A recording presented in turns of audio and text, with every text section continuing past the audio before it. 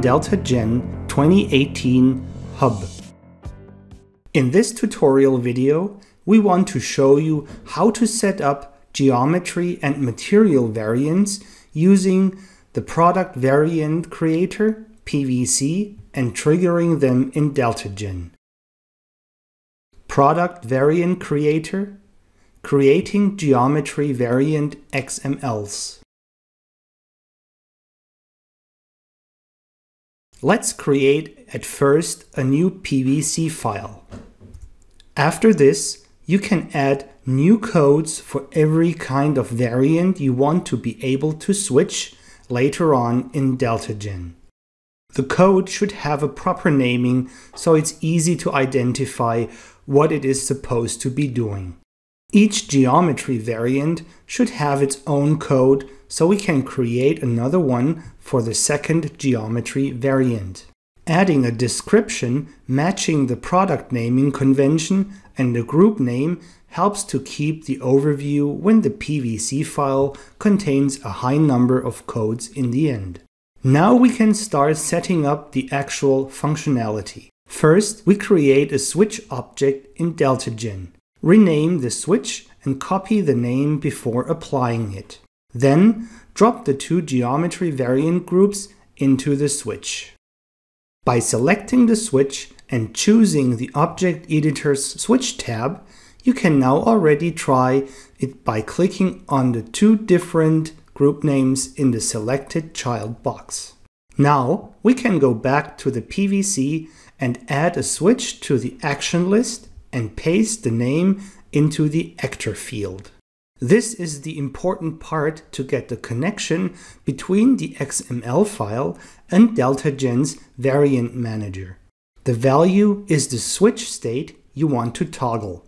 The counting starts at zero, so the value for the first code switch must be zero. For the second code, we also add a switch to the action list. Paste the name into the actor field and change the value to 1. To load the PVC XML variant sheet into DeltaGen, you must save it first and then click on Load into DG. In DeltaGen's variant manager, you can now see that the PVC code was imported. Switching the state of your codes will now affect the scene accordingly.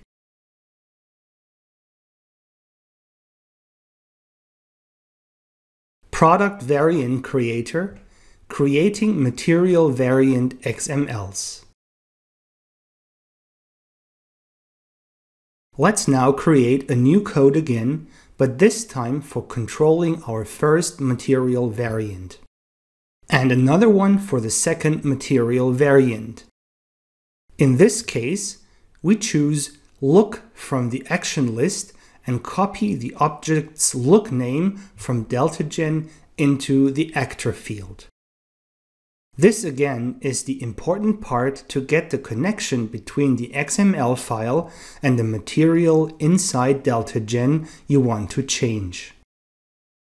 Because samples of the material variants need to exist inside our DeltaGen scene, we create a group before containing two planes with the materials assigned. From here, we can copy the names into the value fields next to each actor in our PVC. To see the changes in DeltaGen, the file needs to be loaded again.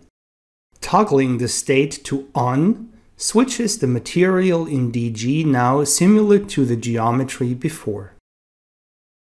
Product Variant Creator, switching more variants at once.